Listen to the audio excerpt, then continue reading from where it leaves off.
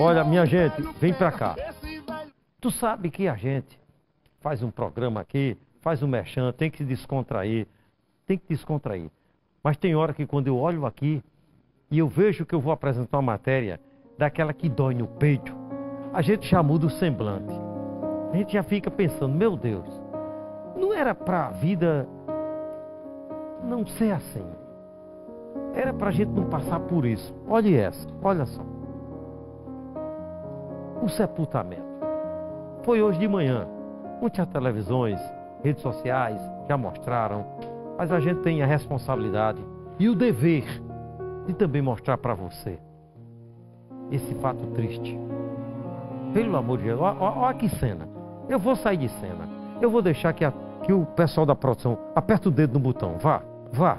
O corpo do professor Luecide Brito, após ser liberado pelo Departamento de Medicina Legal, foi velado aqui no Parque das Acácias. Às 10 horas, o sepultamento. Vários amigos, correligionários, alunos, professores vieram dar o último adeus.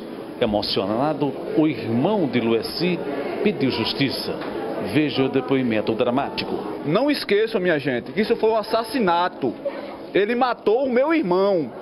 Destruiu várias famílias, destruiu várias famílias. Inclusive a minha mãe que está ali chorando pelo, pela perda do meu irmão. Eu quero justiça, justiça, só isso, nada mais, gente.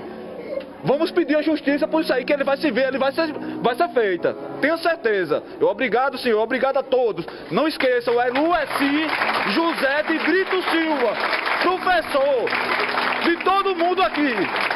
Obrigado a todos, gente. Obrigado. Eu amo meu irmão, onde ele esteja. Aonde ele esteja, vamos lutar por ele. Não deixe desamparar, por favor. Por favor. Não esqueçam, é Lueci José de Brito Silva, professor do Colégio Dominique de Matemática. A todos os alunos que estão aqui, obrigado, gente. Vocês fizeram a sua parte, ele também fez. Ele é uma pessoa que chegava em casa de noite, ia dar aula online no domingo e resta pela minha família, pelo meu pai e pela minha mãe. Obrigado, gente. No velório, alunos foram unânimes em ressaltar a importância do professor na escola, destacando o profissionalismo, o amor e o carinho com que os alunos eram tratados por eles. Todo mundo sabe que é uma perca muito grande aí no mundo da pedagogia, né, do ensinamento, da matemática. E uma perca muito grande para a gente aí que foi aluno dele. Meu último ano com ele foi o ano passado, agora estou cursando o ensino médio. E ele é um exemplo, sempre foi um exemplo de, de pai, de filho, de professor e principalmente de homem.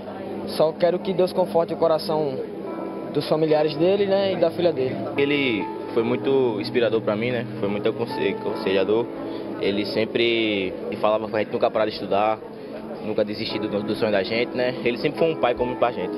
Professores e funcionários da escola onde ele trabalhava fizeram questão de dar um depoimento em favor do professor e o último adeus. Era uma pessoa sem igual. Era muito prestativo, era aquela pessoa, faz tudo, além de professor, ele era muito amigo, assim. Para o que você precisasse, ele estava ali, você podia contar até dias que não era dele de dar aula, ele estava lá na escola. Ele respirava aquilo ali. É triste, assim, acho que a ficha ainda está caindo. Eu estava lá na hora, então foi desesperador o momento, mas assim, acho que a ficha ainda está caindo, tentando assimilar ainda o que, o que de fato aconteceu, o porquê aconteceu, né? Lueci deixou uma trajetória importante quando caminhava para a escola, dando seus últimos passos ao lado da filha, que emocionada ainda não consegue entender o tamanho da violência com que o pai foi assassinado. Lueci vai deixar uma marca registrada, não só na capital paraibana, mas também no prédio paraibano, onde ele trabalhou como professor. As imagens são de Vital Vaz, Washington Luiz, para a TV Arapuã. Não justifica não, não justifica. Não justifica o que o cara fez. Não tem, não tem lógica, não tem lógica. Bárbaro, crime bárbaro. Barbaridade isso aí. Do mesmo jeito, se fosse o contrário, se fosse o professor que tivesse matado o homem idoso, a gente também estava do mesmo jeito, defendendo o idoso aqui, defendendo a vida. Do mesmo jeito. Olha, deixa